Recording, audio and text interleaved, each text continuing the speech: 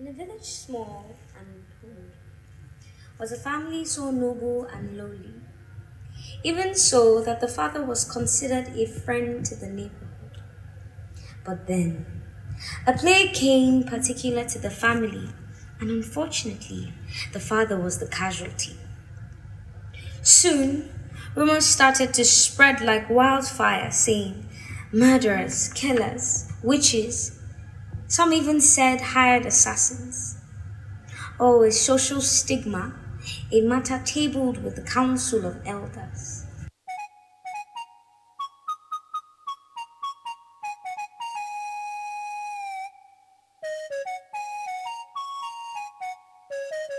As the wood fuels the fire, the town crier came to stir up the strife against them, instigating men against both mother and daughter.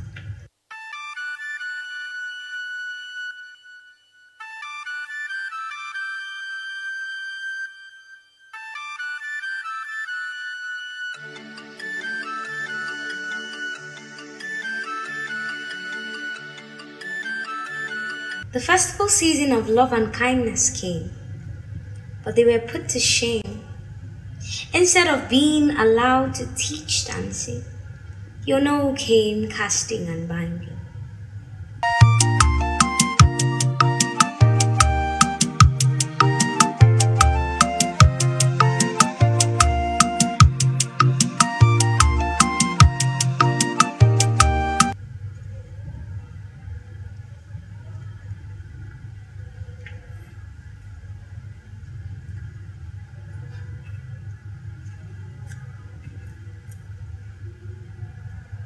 A preacher of love came right in time, saying, Stop right there.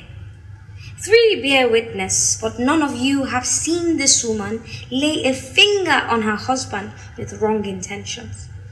Who has poisoned your once pure love towards this family? Extend your hand of kindness rather than condemnation.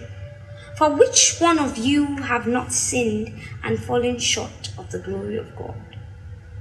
The festival is fast approaching, but how do we intend to celebrate when you all are not an expression of love and kindness?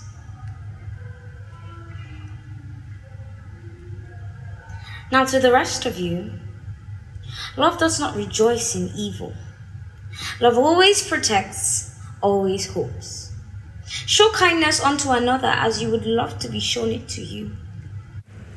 Now let the festival of love and kindness begin.